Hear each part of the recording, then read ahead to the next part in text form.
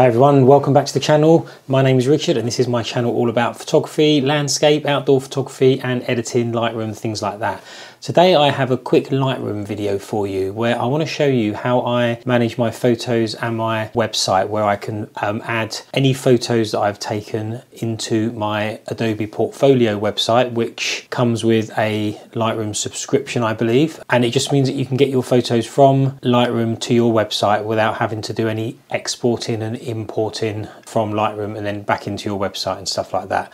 It all goes through the cloud, it all goes through Lightroom, it doesn't take up any of your cloud storage space or anything like that. Really, really good way of showcasing your photos online without having to pay for a web host or anything like that. So, I'm going to jump into Lightroom right now and have a quick look at what we do. Right, so here we are in Lightroom and what I've got here is some photos from our holiday in the summer and I've already edited those and I've added them to a final JPEGs edit folder already. That's part of my editing process anyway. So these are now JPEG files and not RAW files. And when I finish this process at the end of this video, I will explain why you shouldn't use your RAW files. You can sync your RAW files through to Adobe Portfolio, but I'm just gonna explain at the end why you shouldn't because sometimes it doesn't quite work. Okay, so basically what I've set up is I've set up a series of smart collections down here for my um, portfolio. So all my landscape photos that I like to show off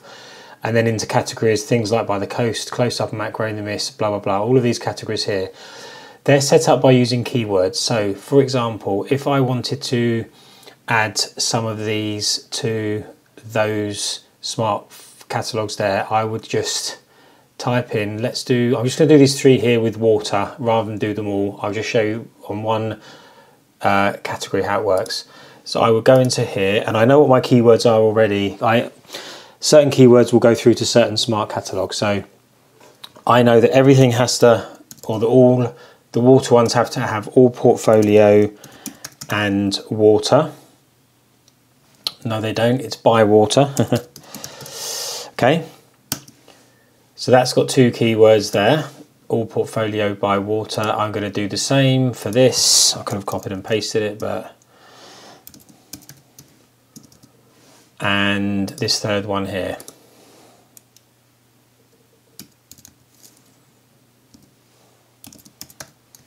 So all that is done is keyworded those three images. So one, two, three.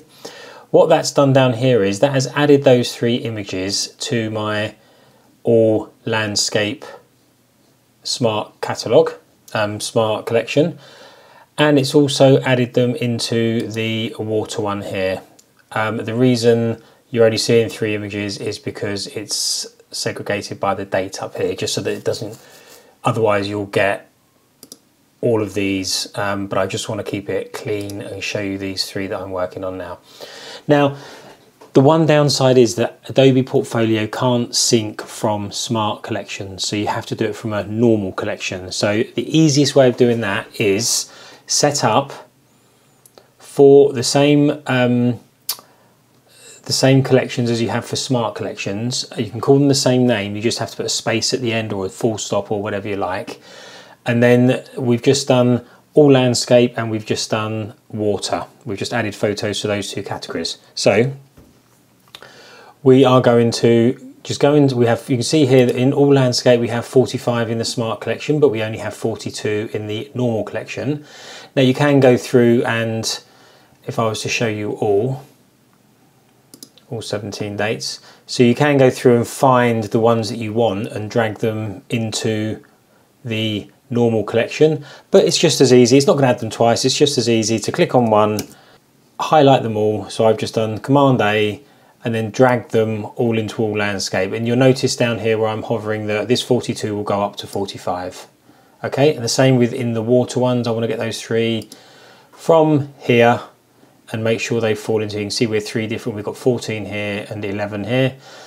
Highlight one, Command A, all of them, and then you can drag those from the Smart collection into your normal collection. You can see now that we've got 14 and 14. What we have to do is Just have to wait for it to finish syncing up here. It's syncing 13 photos now through to, I'm not sure, oh, it's 13 because it's done it three, two or three times. Um, not quite sure why it's 13 to be honest, but it's syncing these through. It won't take long to sync through. If it's a new collection that you've got, so you'd set up your smart collection based on whatever criteria you want, and then you'd duplicate it with a normal collection. The first time you do that, you will have to go into um, depending on your setup, I have a separate page here for portfolio or a separate folder. When you set up the album or the collection for the first time, it will be not in that portfolio folder. So you're just, let's using this for an example, you would just have to drag your new collection into the portfolio um, folder, but all mine are already in there because I'm just adding to existing collections. So once that has been done, if we now go into, uh, where are we, water, hopefully we will get the three. So there's the three that we've just brought through, which is that one, that one, and that one. So they have synced through the cloud. It's only smart previews, it's not the full file size. And they should also be in here as well. It's probably going to be these, oh no, down here, one, two, three. So I know they've synced to the cloud. So what we would do now is we would go to Adobe Portfolio on the web and you can see here that this is the water. Let me show you it back from the beginning. So if I go into portfolio I go into all landscape photos and these are the same collections that I have in the Lightroom dashboard that you've just seen here. 1 2 3 4 5 6 7 8 9 10 11 oh no I haven't got product on here actually because I'm not really doing product photography. But on here we've got 3 6 9 10 if you have a new collection down here on the left hand side and you so let's say you set up another one that was uh, wildlife for example. Um, actually I could use product just for just to test just to show you. I'm not going to import it but I'll show you what I mean. So this product one isn't here. All you'd have to do is make sure that you are in the editing part of your website click on pages, go to the page that you want to add that library, that Lightroom collection to, which is this one. And you can either click on the add page up here in the top left hand corner, or you can click on add page here and you would pick Lightroom album. That would then open up your Lightroom online. You can see here we've got portfolio, 11 albums, and we'd have product there. If I was to click on product and then click on import selected, that would add that here and when you click in it you would see all the photos in that collection. So that's if you were to add a new collection but if you've just added images to a current one all you have to do is navigate again to the pages. So we're going to update this water one with those three images that we've just added. We're going to go to pages. We're going to go to where it says water and we are going to click on the little cog here, the drop down arrow next to the cog and see where it says reset from Lightroom. What that will do is it will look for any changes. So if you've added or taken images out of the collection in Lightroom, it will take them out of your website portfolio. Um, reset from Lightroom, double click the blue button to be sure. Depending on what it's got to do, this may take um, a few minutes that hasn't, it's only taken a few seconds. We're going to go back to editor. Normally the screen will refresh and we can now see the three images on here that we've just added to that collection.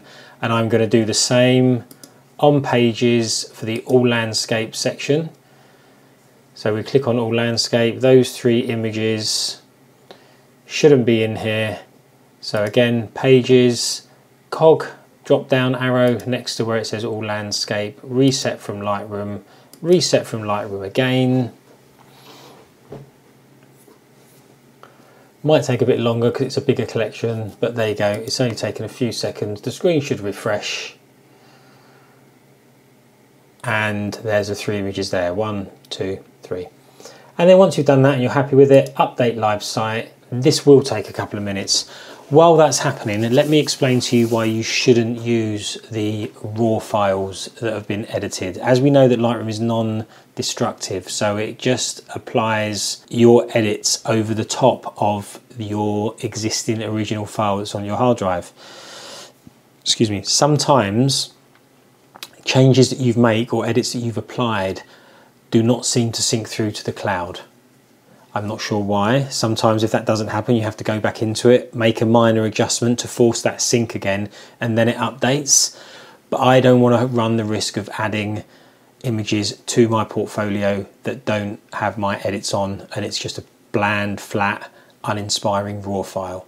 Um, so looking at the screen here now, you can see that your site is live. I'm just going to go to view my site. So this is looking at the site in a live environment and we're going to go to all landscape photos and we updated water and there are the images there live now on my portfolio website with Adobe. So there, I find that a really easy way of getting images from your editing software of Lightroom into your website. Portfolio, if you're paying for a Lightroom, um, if you're paying for a yeah, Lightroom subscription, then the application comes with it. Um, I haven't done a video on how to set that up because that is a little bit more involved. But if anyone would be interested in seeing that, then I can try and record something to show you guys um, exactly how you set it up. There's all sorts of themes and layouts and menus and links and pages and stuff like that. So it may take a bit of planning. If I get enough comments down below of people asking to see it, then I'll do it. Um, but for the most part, I just wanted to show that way of getting images from your Lightroom catalog into your Adobe Portfolio website. So I hope you found that useful. Thanks for watching this video. I will see you in the next video. We've got another um, excursion out into the forest coming up. So don't forget to subscribe if you want to see me wander around taking some photos in the forest. And there'll also be more editing photos and gear photos and uh, editing videos and gear photos as well. So thanks so much for watching. Have a great day. See you next time.